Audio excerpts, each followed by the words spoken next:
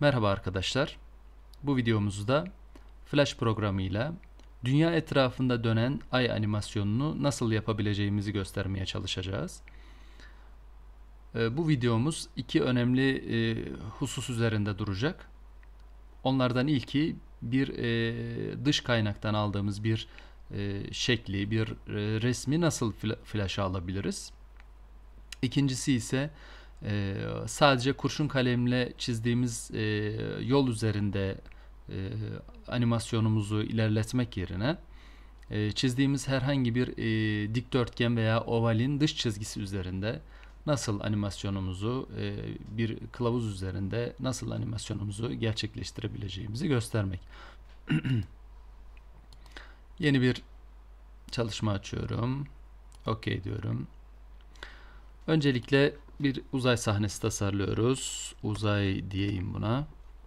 Tabii ki kontrol 2. Tabii ki stage siyah olacak. Fırçamı alıyorum. Fırça rengim beyaz olsun. Şu şekilde. Etrafa biraz yıldızları andırsın diye noktalar bırakıyorum. Bu şekilde. Evet, noktaları bırakıyorum. Ardından bu katmanı kilitleyebiliriz. Ardından e, dünyayı yerleştirmek için bir katman oluşturuyorum ve dünya yazıyorum katmanımın ismine. Tabii ki burada kendimize bir mavi resim seçerek, mavi renk seçerek ovalle bir dünya çizebilirdik. Bunu da yapabiliriz. Ancak ne import özelliğini Flash'ın gösterebilmek için başka bir teknik deniyoruz. Daha, hem de daha gerçekçi bir görüntüye ulaşmış oluruz. File, import, import the stage dahil et, sahneye dahil et seçeneğinde Ctrl R'dir kısa yolu. Ee, herhangi bir dosyayı buradan aç e, dosyayı seçtikten sonra aç seçeneğine tıklatarak sahneye dahil edebiliriz, import edebiliriz. İptal ediyorum şimdi. Çünkü ben bir e, bilgisayarımda bulunan bir dosya yerine internetten clipart.com sitesinden ki buradaki e, çizimlerin tamamı bedavadır e, ve herhangi bir uygulamada kullanılabilir. E, dünya dünyayı aratıyorum veya Earth diyelim daha mantıklı olacaktır. Earth aratıyorum. Search dedim. Burada yanlış hatırlamıyorsam ikinci sayfadaydı. Next diyorum. Aradığım dünya şekli. Bakalım şöyle. He ama son sayfaya geldik. Ona basınca. Yo aslında doğru yerdeyiz. Bakalım. Hayır. Acaba birinci sayfada mıydı? Geldim. Şu. Evet bunu kullanabiliriz. Tıklattım. Evet buydu. Burada PNG kısmına SVG'yi şu an için kullanamıyoruz. PNG kısmına e, 300 piksel genişliğini yazıyorum. PNG'ye tıklatıyorum. Bana hem resmi getiriyor hem de yolunu öğrenmiş oluyorum bu resmin. Adres satırından kopyalıyorum. Yolu adres satırından kopyalıyorum. Flash'a geçiyorum.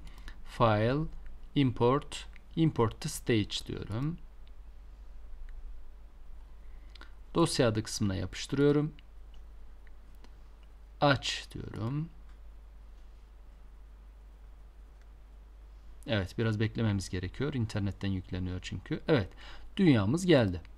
Şu an bir şey yapmayalım dünyaya. Yeni bir katman oluşturarım. Ay. Ayımızı da import edelim. Yine Open Clip artı kullanıyorum. Moon diyelim. Aratalım.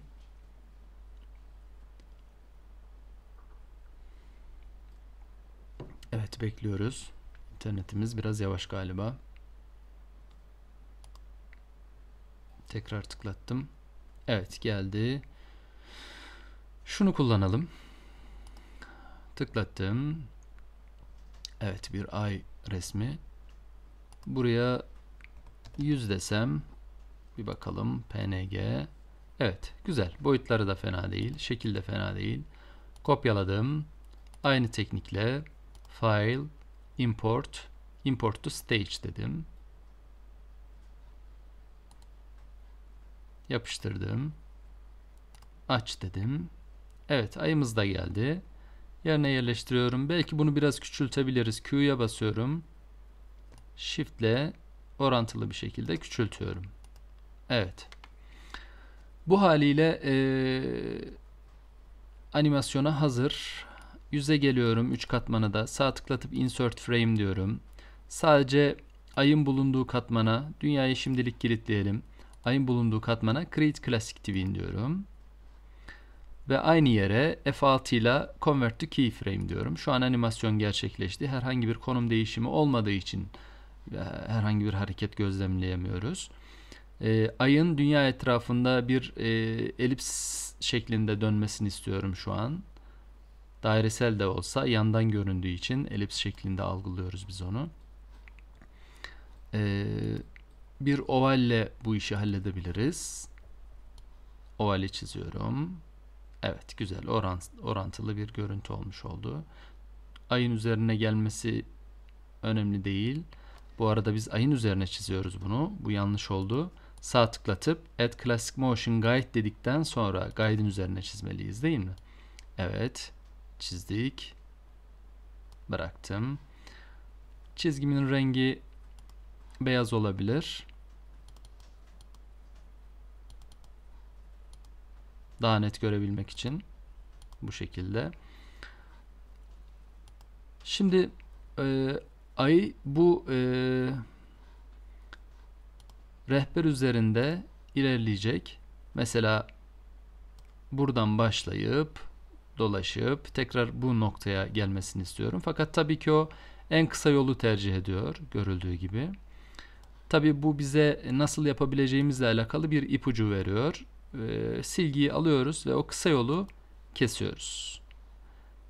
Kısa yolu kestiğimiz için ayımız bu defa diğer yoldan, uzun yoldan bizim istediğimiz şekilde hareket ediyor. Ctrl Enter.